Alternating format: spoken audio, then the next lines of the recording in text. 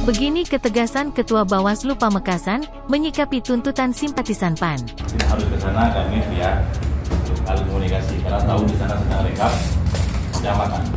Kami telusuri, kami fokus di saksi PAN. Tolong Pan Wasjam, saksi PAN membuat formulir keberatan. Betul Pak?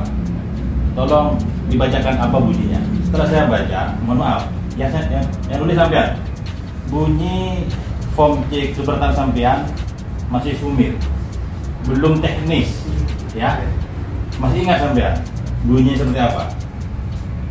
Masih ingat? Jadi masih sumir, nggak perlu saya baca sampai yang paham. Jadi di situ belum jelas di mana ada kecurangan TPS mana desa mana. Maka saya analisa tadi kalau begini Pak ini sumir Pak.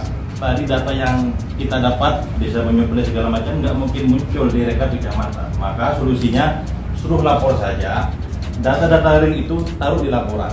Masalah nota keberatan sampean nanti akan kita sikapi di rekap kabupaten termasuk nota-nota keberatan dari para saksi lain.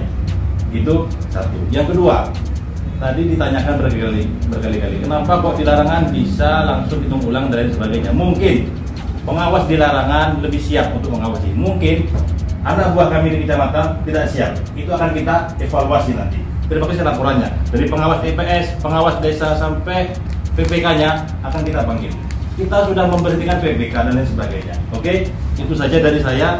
Kalau Bapak mau melapor silahkan lapor. Kalau Bapak nggak mau melapor, saya mintakan keluar di kantor saya. Kalau mau lapor silahkan. Yang punya kepentingan silahkan keluar. Terima kasih. Assalamualaikum warahmatullahi wabarakatuh. Kita analisa.